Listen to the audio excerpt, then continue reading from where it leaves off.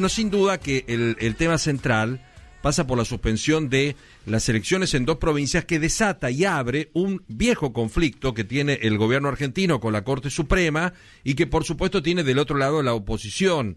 El propio presidente Alberto Fernández acusó a la Corte diciendo que los jueces siguen respondiendo a las órdenes de Mauricio Macri, hay toda una interna, y lo importante, dos provincias que el fin de semana no van a poder votar. Vamos a hablar con Germán eh, Garabano, que fue el ministro de Justicia, precisamente del gobierno de Mauricio Macri, para escuchar su opinión y ver dónde estamos parados. Ayer escuchábamos a Félix Lonigro, también el constitucionalista, a propósito de lo que significa la Corte Suprema, que es velar por la constitución de los argentinos. Germán, un gusto saludarte aquí junto a Mariana Contartesi. ¿Cómo te va?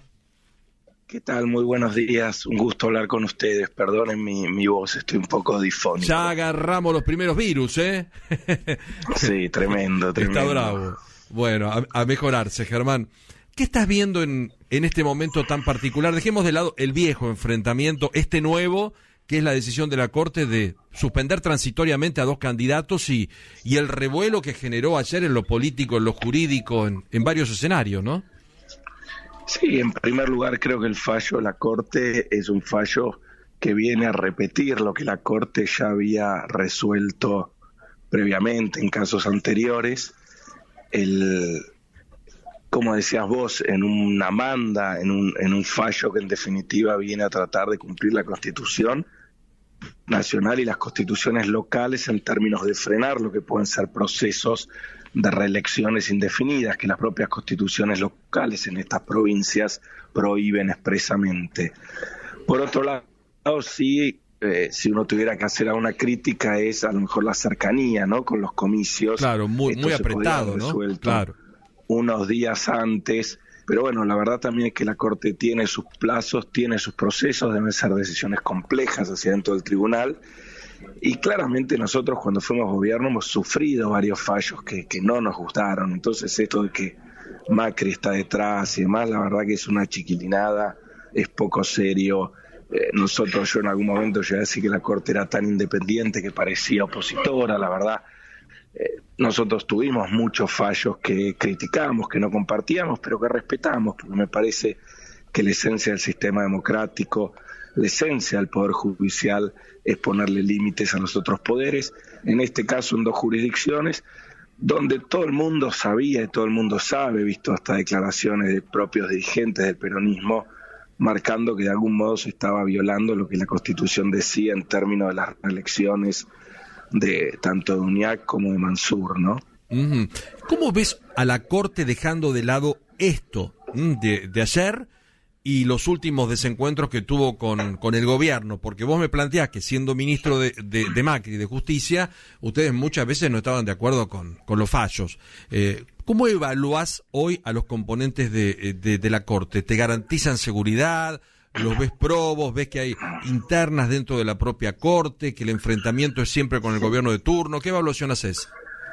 Bueno, estás ahí con, con muy buena información. En realidad hay varias de las cosas que vos señalás. Por un lado, yo creo que los cuatro jueces son jueces probos, muy formados, hoy muy independientes ¿no? de cualquier sector político, tanto el oficialismo como de la oposición, que tratan de, avanzar en términos de la Constitución, pero sí en un esquema de, de, internas que lamentablemente trascienden fuera del tribunal, lo cual no es, no es bueno con algunos temas de, gestión administrativa que obviamente la Corte debiera mejorar y en términos de liderar procesos de mejora del sistema de justicia, que es algo que es una asignatura pendiente que tiene el Poder Judicial para con todos los argentinos. Pero es una Corte seria, independiente, que va a fallar hoy sin ningún atamiento político hacia ningún sector, ¿no? Eso parece que es valioso para todos los argentinos. Eh, Germán, eh, Patricia Bullrich eh, irritó bastante a Sergio Uñac y a muchos cuando rápidamente, viste, ahora todo tuit en, la Argentina, sacó un tuit y dijo, les paramos la reelección a Uñac y a Mansur. Y muchos utilizaron ese argumento para esto de, de, Macri o los jueces a control remoto o toda esta historia. El, así como eh, la justicia tiene que tener algún límite en lo político. Lo político también no tiene que tener un límite, porque decir esto les paramos la reelección y todo esto marcó tal vez una, una sensación de, de asociación entre la oposición y la Corte. Sí, yo creo que lamentablemente venimos en, en, un esquema. Había un tweet o una declaración relativamente parecida cuando el propio Martín Soria, el ministro de Justicia, le frenó, decía él, también la reelección a Beretilnec, en el caso Río Negro, que es uno de los precedentes. Yo coincido con vos que toda la política va a tener que hacer un esfuerzo en términos de disminuir los conflictos y tratar de generar un cauce institucional para mejorar las cosas. Mientras tanto, estamos en el medio de procesos electorales.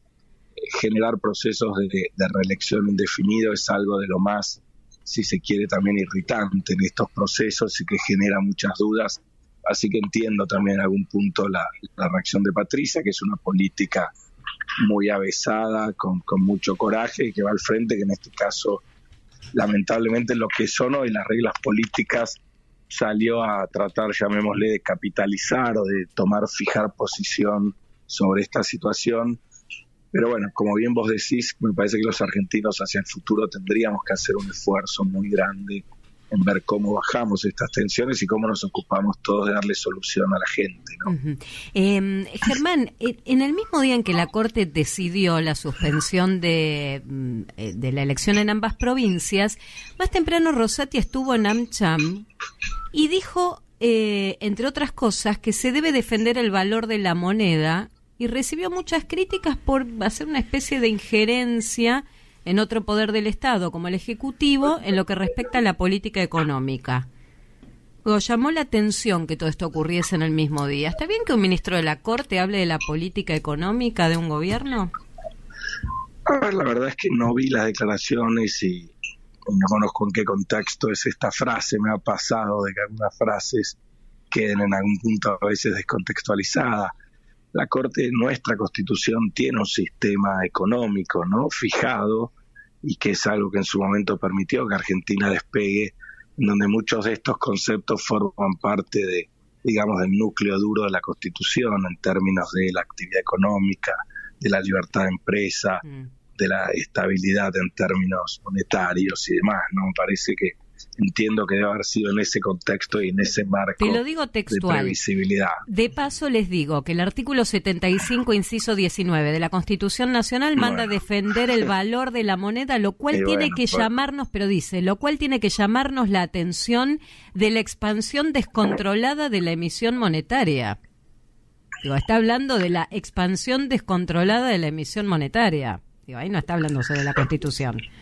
Bueno, está hablando a partir de un marco constitucional, ¿no? Como que vos misma señalabas. Este, no estaba, mira, sin haber escuchado, no estaba tan errado respecto de que el camino tiene que ver con este mandato constitucional que mm. tenemos en definitiva de un programa económico, ¿no? La Constitución al final del día, Alberdi la diseñó como un programa económico institucional para que Argentina se desarrolle. Y yo creo que uno de los problemas que tenemos los argentinos es habernos olvidado de esa constitución muchas veces y que a veces la usamos en beneficio propio por un ratito, pero después nos olvidamos de los lineamientos que la constitución fija, que como pudieron hacer grande al país en su momento, yo creo que si volviéramos a esos lineamientos y ese trabajo que hizo en su momento Alberdi hace muchos años, probablemente saliéramos más fácil de esta difícil situación económica. Eh, te, consulto, ¿hay que ampliar los miembros de la Corte?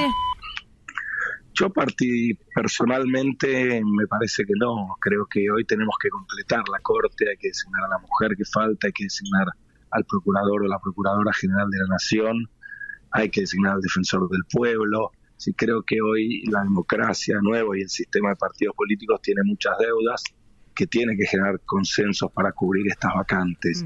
Después se podrá analizar, pero yo hoy creo que tenemos que cumplir con lo que tenemos y me parece que es importante que una mujer vuelva a, la corte. ¿no? Hoy tenemos una corte sin mujeres, debiéramos hacer la política, debiera hacer un esfuerzo por designar a la mejor candidata para ocupar ese lugar. Eh, como ex ministro de, Justicia en el gobierno de Macri, hoy, ¿Patricia Bullrich o Larreta? Hmm. No, yo tengo muy buena relación con los dos, son dos excelentes candidatos. Pero si pone las dos bolitas se le impugnan, señor, ¿eh? Sí, pero tengo una neutralidad total. La verdad es que con Patricia fuimos ministros juntos, hemos trabajado un montón de leyes y de programas juntos. La quiero mucho, la respeto, con Horacio lo mismo me tocó conocerlo siendo fiscal general y coordinar actividades entre la fiscalía y el gobierno. La verdad es que tenemos una interna muy competitiva, muy buena, con dos candidatos muy potentes, que espero que los argentinos mm. elijan al mejor de ellos para encarar este proceso ¿No estás en ninguno de los equipos de campaña, asesorando desde lo jurídico? Estoy tratando de ayudar a los dos. La ah. verdad que ayudo a los dos equipos de justicia de ambos candidatos. Estamos tratando, hay un trabajo muy interesante de la Fundación Pensar, que se coordina además con las fundaciones de Coalición Cívica, la Fundación AREN, la Fundación Alem del Radicalismo y la Fundación del Espacio de Pichetto.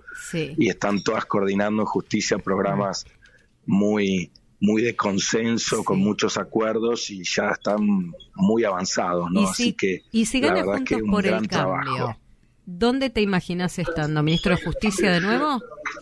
Mira, yo estoy para colaborar desde el lugar que sea. La verdad que me está yendo muy bien en, en la actividad privada. Estoy muy bien con lo que estoy haciendo ahora, también en términos de consultoría nacional e internacional. Así que si alguno del que gane la presidencia, ya sea Patricia o Horacio, me quiere convocar, yo estaré para ayudarlos, pero si no, ayudaré desde afuera, que creo que lo importante es que todos empujemos porque va, a ser un gobierno que va a tener muchos desafíos y muy difíciles. las dos últimas, una más del partido y, otra volvemos a Tucumán y, y, a San Juan. Estamos hablando con Germán Garabano, el ex ministro de Justicia del último gobierno de Mauricio Macri. ¿Te sorprendió eh, que Macri coqueteó con una candidatura o, o pensabas que, no podía presentarse o que sí?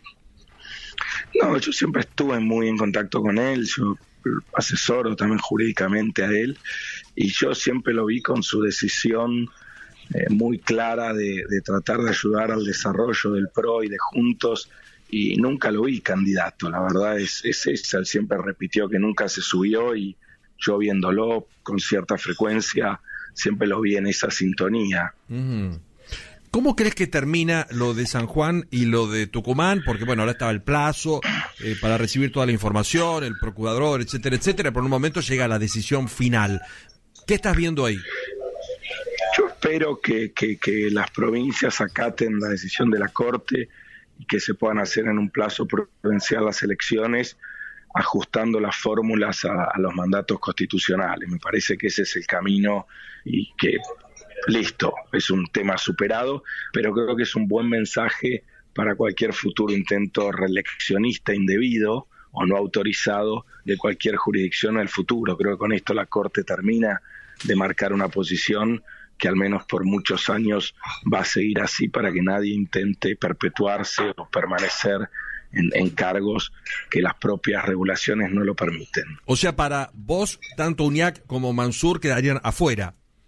Sí, yo mm. esa es mi sensación. Mm. Y, y hacia el futuro cualquiera que intente repetir situaciones de este tipo. Germán, te mandamos un abrazo, que estés bien, ¿eh? Igualmente, un abrazo grande. Eh, y que mejore la voz. Muchas gracias por atendernos. Hasta pronto. Germán Garabano, el ex ministro de Justicia.